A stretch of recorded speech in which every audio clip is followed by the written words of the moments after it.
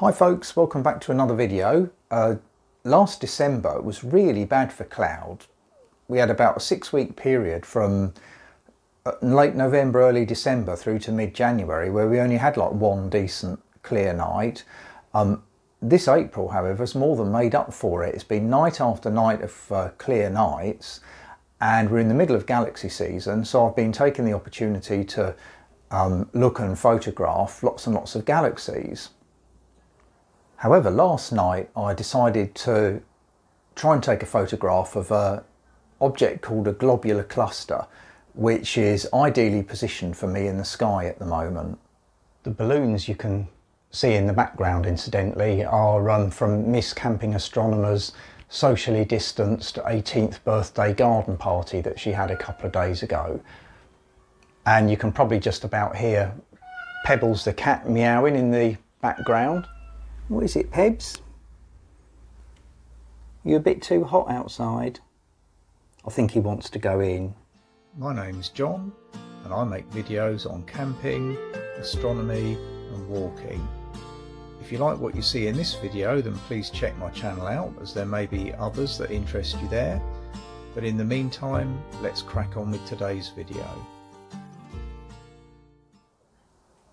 Globular clusters are very beautiful objects and they lend themselves very well to uh, beginners at astrophotography.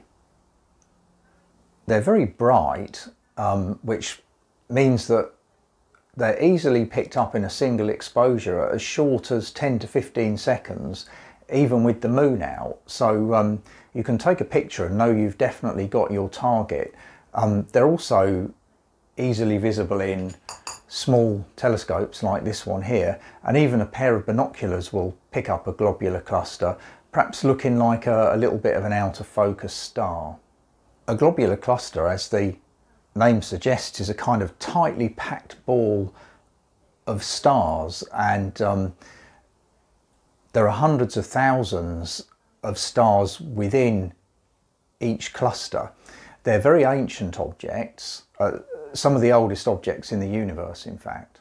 In spiral galaxies like ours, they're typically found outside the plane of the galaxy. So the galaxy is like a big disk, basically, and the globular clusters sit in the kind of galactic halo, which is the area above and, and below the disk. And the stars that are contained within the uh, globular cluster are some of the first stars formed when the or its associated galaxy was formed.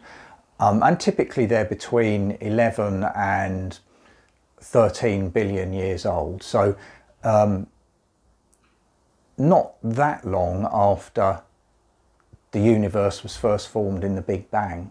The target last night is a globular cluster called M3 or uh, Messier 3 and it contains about half a million stars.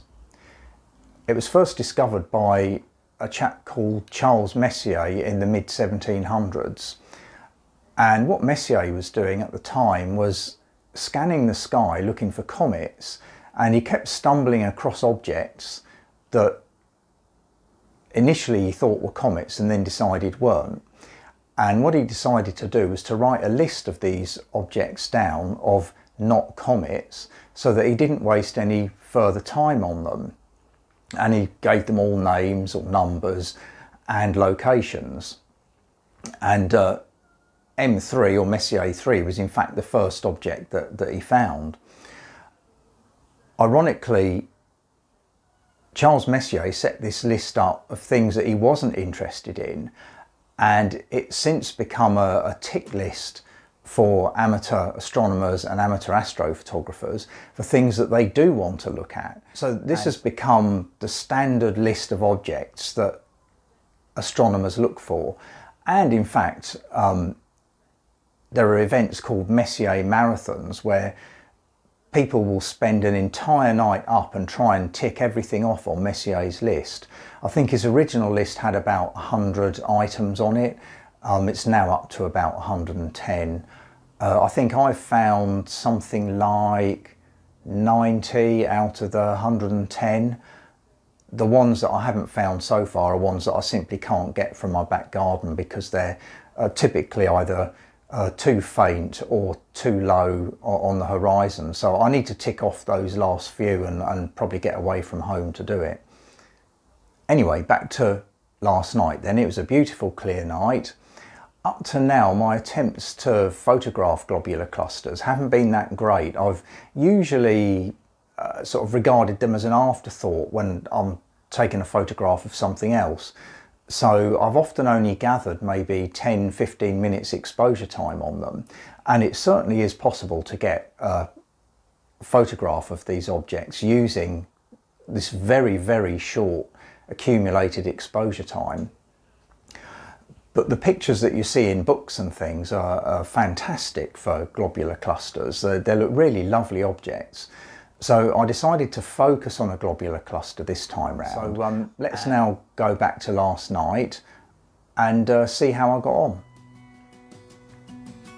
I once again used my standard setup with uh, my smallest 60mm refractor.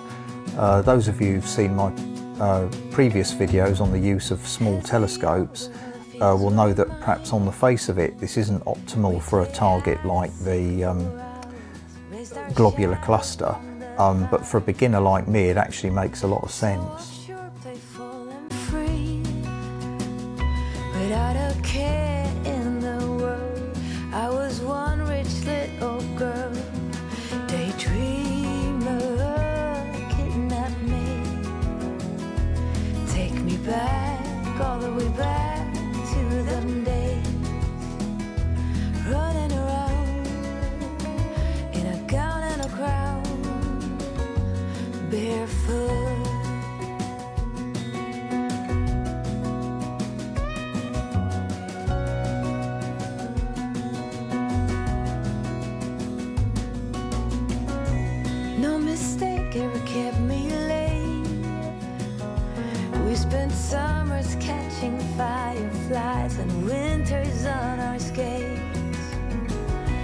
One big smile across my face. We used to dance our way to church on Sundays. Mama set the pace. Daydreamer.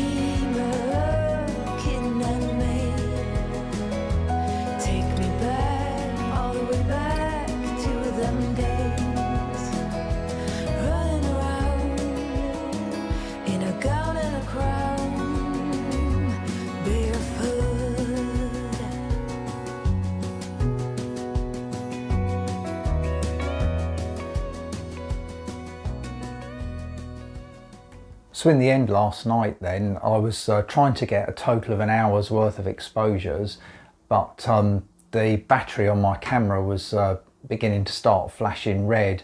So I wanted to take a couple of shots of the moon as well. So what I did was I stopped after I'd done 45 one minute exposures and took a few snaps of the moon also. Um, but yeah, uh, when I processed the results, I was uh, pretty pleased with what I got for um, the globular cluster, to be honest. Um, considerably better than I've got before, and almost certainly caused by a longer total exposure time of 45 minutes instead of say 10 or 15 minutes. So overall, yeah, I'm uh, quite chuffed with the result and I had a, a nice evening outside. So I'll put the a single shot of the moon up now and uh, the process picture of the globular cluster and I look forward to seeing you next time. Cheerio!